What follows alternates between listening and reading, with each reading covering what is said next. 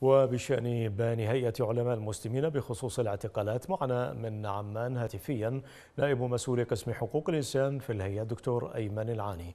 مرحبا بك دكتور أيمن. إذا 797 مواطنا في شهر أيلول الماضي بحسب بيانكم اعتقلوا من قبل القوات الحكومية.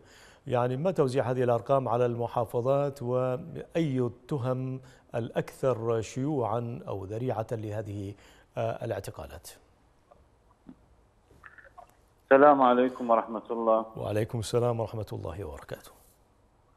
أخي الكريم يعني بالنسبة للتوزيع الإحصاءات لأعداد المعتقلين معلوم أنه محافظة ديالى تصدرت المحافظات ويعني علما أنه جميع المحافظات التي هي يعني ال 15 محافظة ال 15 محافظة. جميعها آه، يعني كانت هدفا للاعتقالات الحكومية التعسفية. نعم. آه، جاءت ديالى بالمركز الأول بالمركز المركز المركز الأول وتليها العاصمة بغداد ثم القادسية. آه، طبعا هذه الاعتقالات في ديالى 117 آه، معتقلا آه، في بغداد 114 معتقلا في القادسية 110 معتقلين والبقية المحافظات كما مبينة في البيان. هذه الحقيقة يعني يعني هذه الاعتقالات طالت المواطنين العراقيين المدنيين بشكل آه، غطاء طائفي.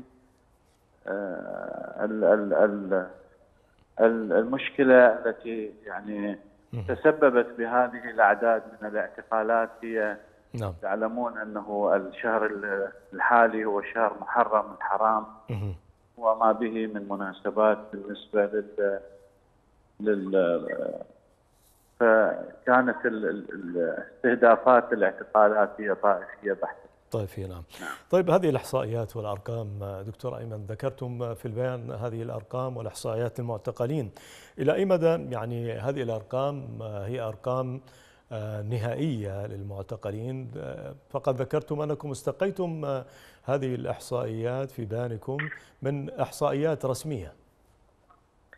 أخي هذه فقط التي يتم الإعلان عنها رسميا في المواقع الرسمية التابعة لوزارتي الداخلية والدفاع الحديثين حصرا نعم. تثني جميع الاعتقالات الأخرى وهذا أيضا مبين في البيان الاعتقالات التي تقوم بها ميليشيا الحشد الاعتقالات التي تقوم بها الأجهزة الميليشيات والأجهزة الكردية بمختلف مسمياتها الاعتقالات التي يقوم بها آه، مكتب آه، رئيس مجلس الوزراء وهي اعتقالات طبعا نوعية يتم عدم يعني يتم التعتيم عليها وعدم الإعلان عنها بشكل متعمد من قبل الحكومة. يعني ربما يفوق الأمر ضعف هذا الرقم وهو حتى بحد ذاته رقم كبير في في شهر واحد وشهر أيلول الماضي يعني يقترب من 800 معتقل هذا بحسب الإحصاءات الرسمية كما تفضلتم.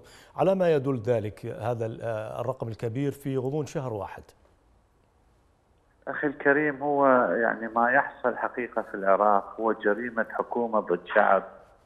الحكومة تستهدف الشعب تستهدف المكون العربي السني بشكل واضح وصريح. الاعتقالات التي جرت كلها أو جل يعني أغلبها آه، كان وفق المادة اربعه إرهاب وهو يعني وهي مادة معلوم توظيفها الطائفي للقاصي والداني. آه، المعتقلون يجري آه، طبعا عزلهم عن العالم الخارجي لا يوجد تواصل مع ذويهم. لا يوجد معرفة اين هم يعني محل أماكن توقيفهم هذا كله يعني يعكس مدى التصور غير المسؤول بالنسبة نعم. للحكومة تجاه الشعب. طالبتم في هذا البيان وفي تقريبا جميع بياناتكم طلبتم المنظمات الدولية خصوصا جامعة الدول العربية بالتدخل لوقف الاعتقالات هل تجدون أذانا مصغية بهذه المطالبات؟ أخي الكريم إحنا يعني نستمر بإطلاق الدعوات والنداءات والمناشدات ما يهمنا هو مصير المعتقلين نعم. ما يهمنا هو التخفيف قدر الإمكان عن المعاناة التي يتعرضون إليها إحراج الجهات السلطات الحكومية نعم. في هذا الشأن في سبيل أنه قدر الإمكان طبعا ندفع الموضوع نعلم جيدا أنه الاستجابة يعني آه، في أغلب الأحيان تكون يعني استجابة غير ليست بالمستوى المطلوب نعم. ولكن نحن ماضون بهذا الموضوع لأنه مثل ما يعني بينت لحضرتك انه الامر إحنا يعنينا في سبيل تخفيف ما امكن آه، وهذا ما تقوم به أيضا المنظمات الدولية. شكرا جزيلا لك من عمان نائب مسؤول قسم حقوق الإنسان في هيئة علماء المسلمين. دكتور أيمن العاني.